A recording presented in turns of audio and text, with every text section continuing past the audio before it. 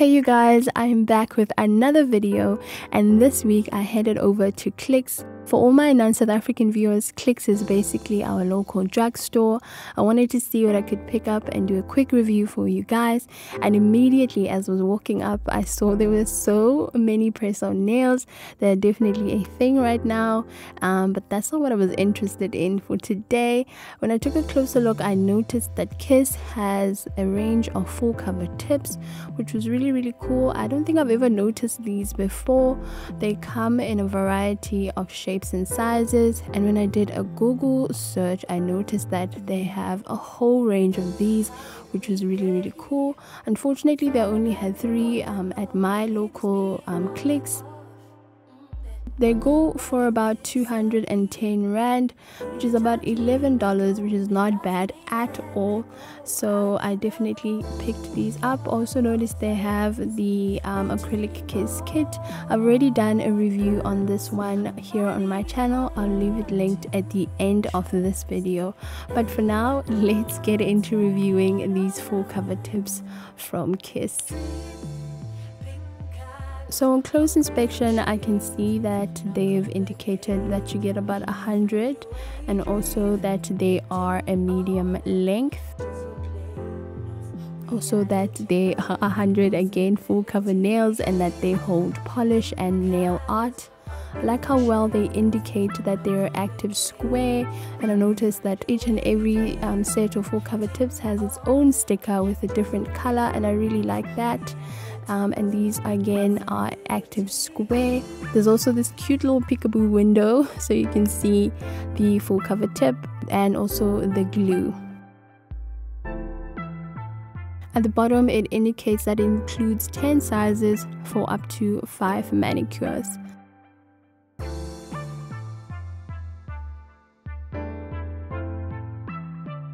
Now, when I looked at the back of the packaging, it's got very clear um, directions. You just apply the glue onto the full cover um, tip and apply a little bit on your nail and you press it on. Very, very simple instructions. There's some warnings and other important information that you can read. There was also a pamphlet, but I didn't read, I didn't go through that.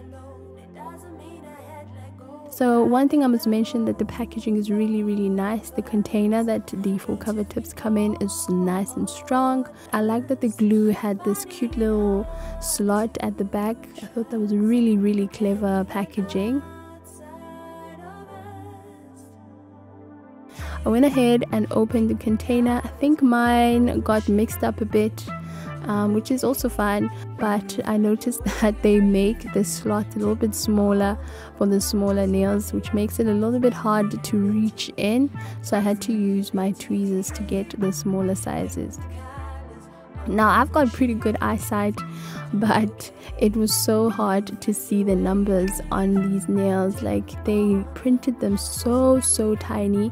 Another thing i didn't like about these tips is this curve on the side. It was so deep that when you actually find the right size of your nail it um, exposes the natural nail. So it forced me to pick a larger size um, which is not what i wanted but i made it work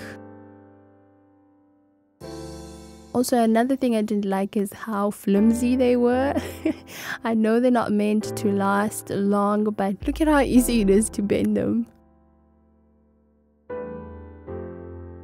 If you do purchase these, um, just know that they're not the best or they definitely won't be the sturdiest. So what I'm going to do now is go ahead and pick my sizes for my nails and here they are.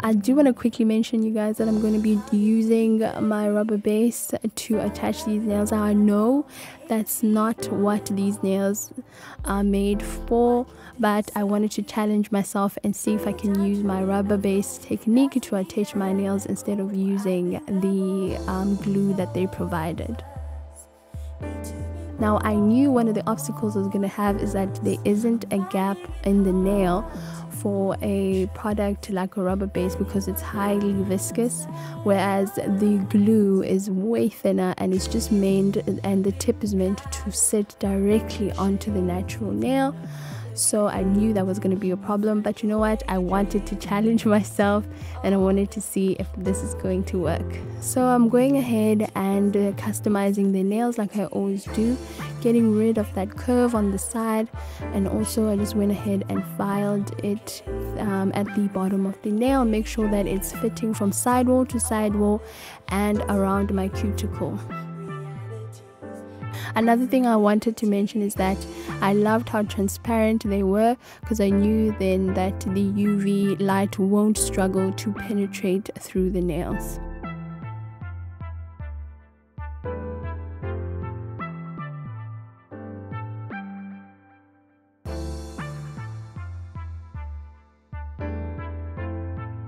So I went ahead and customized the nails and and as you can see I'm being very meticulous and making sure that the nail fits perfectly and then I went ahead and did the same for the rest of my nails.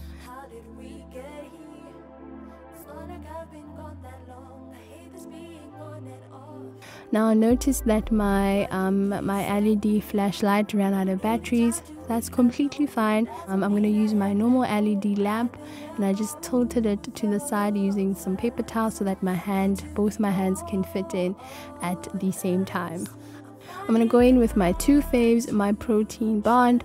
I'm also going to be going in with my rubber base. Um, these are my absolute favorite products when I'm using full cover tips. I'm taking the protein bond and I'm etching the inside of the um, full cover tip. When I'm done with that, I'm scooping a little bit of the rubber base onto the nail. At this point, I was just guesstimating because there was no way of telling whether this was going to work or not. Um, and then I went ahead and attached the nail onto my natural nail at a 45 degree angle and then I started pressing down and immediately when I started doing this it just yeah the rubber base started oozing out which I expected because yeah the nails just do not have a gap for that they are just meant to be stuck straight onto the natural nail um, but I went ahead and took my cleaner brush and I cleaned up the one that oozed on the sides and I went ahead and cured in my LED lamp. When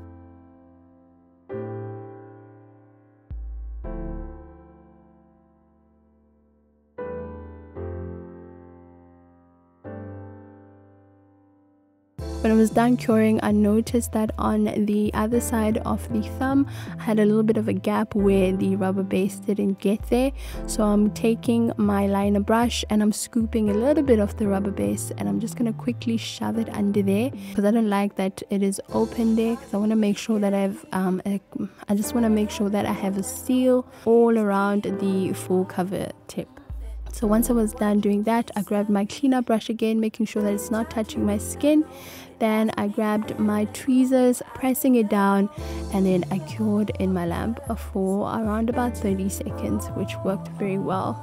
I went ahead and did exactly the same. Now, let me tell you, it was a struggle, and I was not going to include that because the video was just going to be too long. Um, and this is how the nails look after it was done you know what? At this point i was pretty proud of myself that i had just managed to get them to stick using the rubber base which is really cool. Now i'm going to go ahead and customize the nails even more um, again because I had to pick bigger sizes so that they cover the circumference of my nail.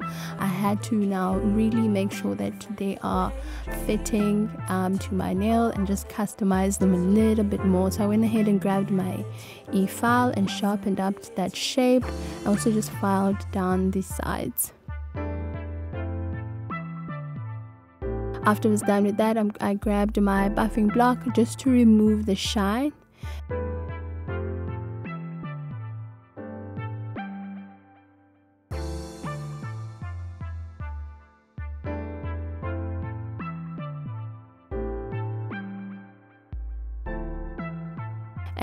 ahead and did exactly the same steps for the rest of my nails. And this is how they turned out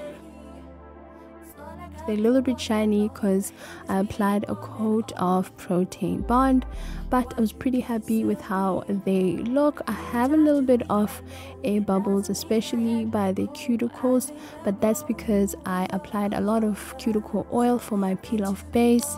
So I think that's what um, that's why I struggled a little bit with the air bubbles by the cuticle area but I was really really happy with how they are looking. They look really really natural and I like the little bit of transparency that they have by the tip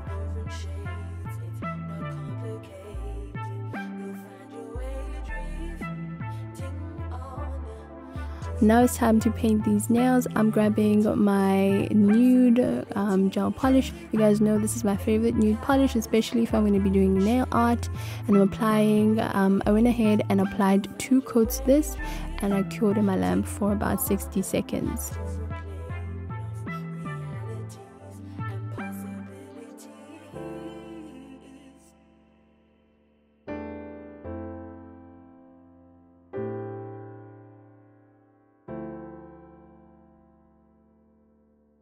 and this is how they looked after the two coats. Look at how nice they look you guys. When they almost look like natural nails.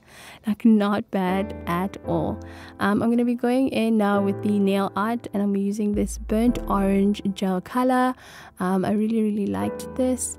And uh, i didn't really have a reference picture this time. I just felt like doing some line work using the um, the burnt orange color and I basically just did some loops and squiggles and throughout the nails just making sure that they connect to each other. And when I was done with that I went ahead and cured in my lamp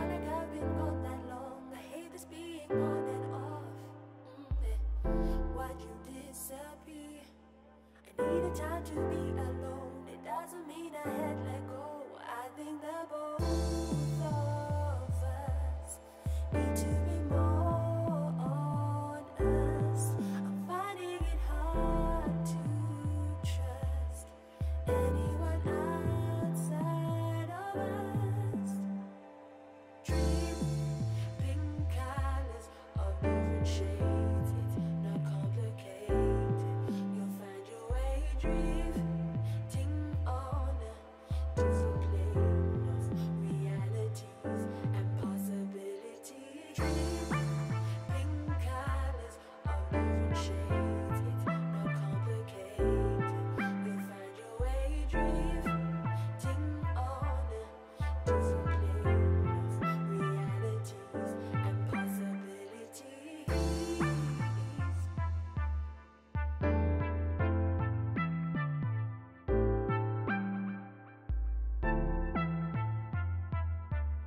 So after I was done with that, I'm taking my pure white gel color and I'm applying a drop and then I'm mixing that in to make the shade a little bit lighter and then I'm going right back into the nails again and applying another line on top of that making sure that it is not overlapping but it's just sitting right on top of each other and I went ahead and did that for the rest of my nails and cured in my lamp for 60 seconds.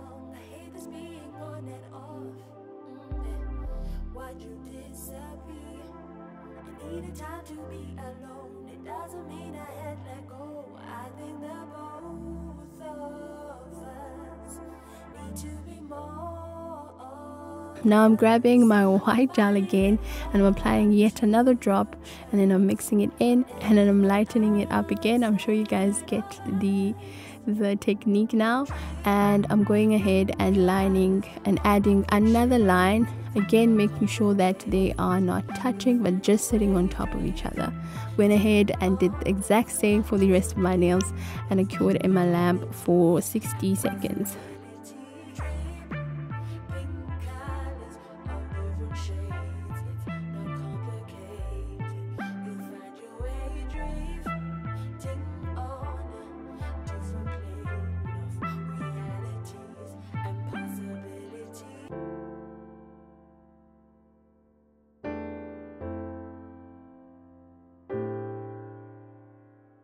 Now for the final line, I decided to just use the pure white on its own and I went ahead and lined my nails and once I was done with that I did exactly the same for all my nails and then I cured in the lamp for 60 seconds.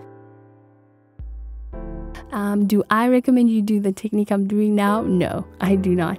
Um, I'm also not going to do a wear test, you guys. Please don't ask me to do a wear test. I popped these off immediately when I was done with filming, but I was really, really happy with how they turned out. Um, after I was done with everything else, I went ahead and applied some matte top coat of camera, and this is the final look, you guys they just look so cute. And I really like the uh, the orange. It's giving a nice retro vibe. Now to finish these nails off you guys know how I like to crispen up my shape. And I'm grabbing my hand file. And I'm gonna go on all my nails just to crispen up the edges and smoothen out any misshaping that the nail art might have caused on the nails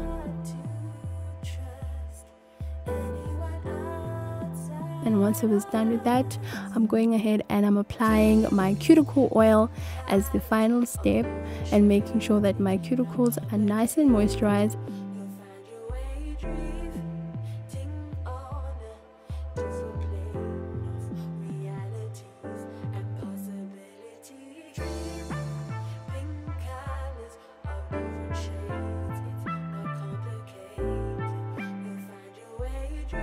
this is the final look. How cool do these nails look? And again this was just a fun little um, video that I wanted to do for you guys and I hope you really really like it. Again I'll leave a link in the description box um, if you are interested in getting these but we've reached the end of the video and I just wanted to say thank you so much you guys for always leaving such amazing comments and being such great viewers and such great subscribers. I really really do appreciate you guys. Please do me a huge favor and click the like button so that this video reaches more people I'm definitely going to be back with another video soon. I hope you're having a fantastic day wherever you are. Bye, guys.